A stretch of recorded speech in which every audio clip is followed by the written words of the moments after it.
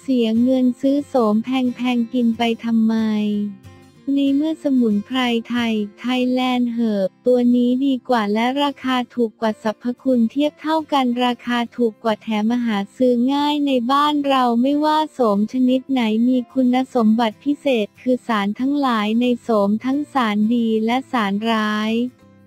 มันไม่สามารถถูกขับออกจากร่างกายได้ รับประทานแล้วจะหมุนเวียนอยู่ในร่างกาย คือยาบางตัวรับประทานเข้าไปขับถ่ายล้างออกไปได้ หรือบางทีกินหัวไชโป๊กินอะไรไปก็ล้างออกหมด แต่โสมล้างเท่าไหร่ไม่ออกพอกินไปนานๆ มันจะหมุนเวียนอยู่ในร่างกายเราทำให้เลือดเหนียวเลือดเหนอะแล้วจะเดินตัวแข็งแขนแข็งขาแข็งยืดขาลำบากนั่งนานนานไม่ได้นั่งนานจะลุกลำบากนั่นเป็นผลจากการกินโสมในประเทศไทยเรามีสมุนไพรไทยตัวหนึ่งเหมือนโสมทุกอย่างในด้านดี คุณประโยชน์ด้านดีเหมือนโสมทุกอย่าง สียอย่างเดียวมันไม่มีสารพิษแบบโสม ราคาเลยถูกกว่าเยอะตัวนั้นคือกระชายแล้วกระชายที่ดีที่สุดต้องเป็น กระชายเหลือง กระชายเหลืองคือกระชายที่ใช้ปรุงเครื่องแกงต่างๆคุณสมบัติของกระชายที่มีตัวยาสูงสุดคือ กระชายเหลืองรองลงมาคือกระชายแดงแล้วตัวบวยคือกระชายดำที่คนไทยเราไปเห่อและไปโปรโมตตัวบวยคือ กระชายดำจนทำให้ราคาแพงแล้วก็เอาไปกินกันยกใหญ่เรื่องมีอยู่ว่าครั้งหนึ่งอาจารย์สุดที่วัดคำพาท่านไปบรรยายที่จังหวัดเลยคนมีปัญหาโรคไตถามว่าจะต้องกินอะไร อาจารย์แนะนำให้ดื่มน้ำกระชาย คนอีสานเขาไม่รู้จักกระชาย แต่เขาพยายามไปหามา เขาไปขุดหัวกระชายดำมาให้ดูว่าอย่างนี้ใช่หรือเปล่า ธรรมดาสมุนไพรสีดำทุกชนิดจะช่วยบำรุงไต ไม่ว่าจะเป็นขิงดำกระชายดำไพรดำ อาจารย์เห็นว่าเป็นกระชายดำก็บำรุงได้ จึงบอกว่าให้เอาไปดื่มปรากฏว่าหลังจากนั้นหายจากโรคไต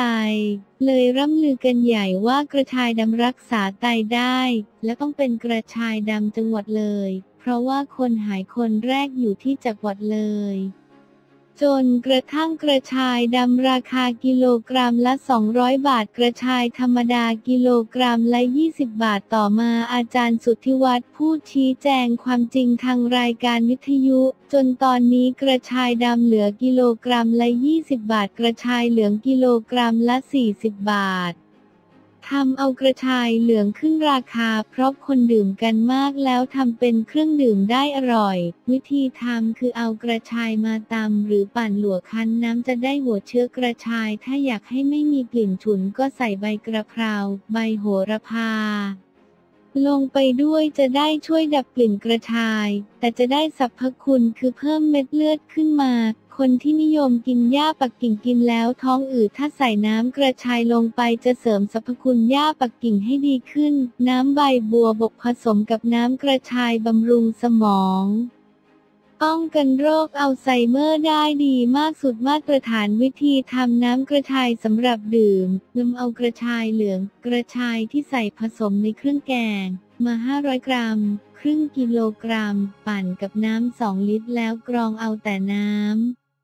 ถ้ากลัวกลิ่นกระชายไม่หอมให้ใส่ใบกระเพราใบโหระพาหรือใบบัวบกอย่างใดอย่างหนึ่ง หรือจะใส่ทุกอย่างก็ได้ลงป่านและถ้าเป็นใบบัวบกจะช่วยบำรุงสมองได้ด้วย ไม่มีกลิ่นกระชายนำมาดื่มได้ทันที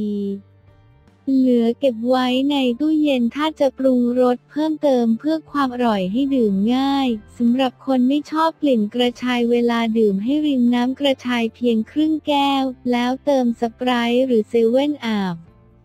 ถ้าเป็นเด็กก็ให้เติมเฮบลูบอยสีเขียวจะหอมมาก และใส่โซดาส่วนผสมไม่มีสูตรตายตัวให้ถือเอาความอร่อยความถูกปากถูกใจผู้ดื่มเป็นสำคัญ เด็กๆ ถ้าให้ดื่มบ่อยๆ จะไม่ค่อยป่วย ผู้ใหญ่ดื่มเป็นประจำจะทำให้หัวใจแข็งแรง บำรุงไตบำรุงหัวใจบำรุงสมองบำรุงกระดูกปรับความดันสูงไปหรือต่ำไปปรับให้พอดี และปรับฮอร์โมนผู้หญิงเพราะถ้ามีฮอร์โมนมากไปจะเป็นมะเร็งเต้านม ฮอร์โมนน้อยไปก็จะเป็นมะเร็งมดลูก กระชายจะปรับให้สมดุลใครความดันมากก็จะลดใครความดันต่ำก็จะเพิ่มประโยชน์ของการกระชายกระชายไม่เพิ่มฮอร์โมน แต่ปรับฮอร์โมนคนกระผูกกระดูกพรุนหมอบอกว่าเป็นโรคกระดูกบาง ให้ดื่มพักเดียวไปตรวจใหม่หมอจะงงว่าทำไมกระดูกตัน น้ำกระชายยังเป็นตัวหนึ่งที่บำรุงสำหรับคนที่เป็นเบาหวาน สรรพคุณของกระชายในน้ำกระชายหนึ่งแก้วมีคุณค่าสูงกว่านมหนึ่งแก้วหลายหลายเท่ามีวิตามินซี B1 B3 B 5 และแคลเซียมช่วยให้เส้นผมแข็งแรง ผมขาวกลับดำ ผมบางกลับหนา มีแคลเซียมสูงช่วยบำรุงเส้นเอ็นให้แข็งแรงกระดูกไม่เปราะบางช่วยบำรุงหัวใจระบบกล้ามเนื้อหัวใจแข็งแรงเต้นสม่ำเสมอ ช่วยให้เลือดไหลเวียนไปเลี้ยงหัวใจได้ดีขึ้น ช่วยย่อยอาหารแก้อย่าลืม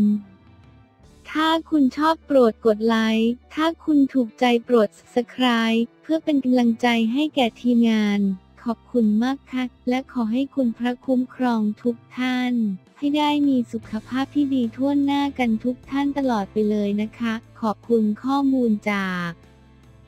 kaijeaw.com ที่มา http colon slash slash www.share si.com slash ลิงก์ของบทความ http colon slash slash www.share si.com slash 2017 slash 03 slash blog เครดิตภาพ https colon slash slash pixabay com slash credit video footage https colon slash slash pixabay com slash ภายใต้ Creative Commons CC 0 Public Domain สำหรับใช้ในเชิงพาณิชย์ได้ฟรีความสุขที่ยิ่งใหญ่คือการเป็นผู้ให้อย่าลืม แชร์ออกไปเพื่อให้ข้อมูลดี ๆ ด้านสุขภาพพลานามัย อันเป็นทรัพย์สมบัติอันมีค่าสูงสุดเหนือทรัพย์สินใด ๆ กันนะคะ ความสุขที่ยิ่งใหญ่คือการเป็นผู้ให้อย่าลืม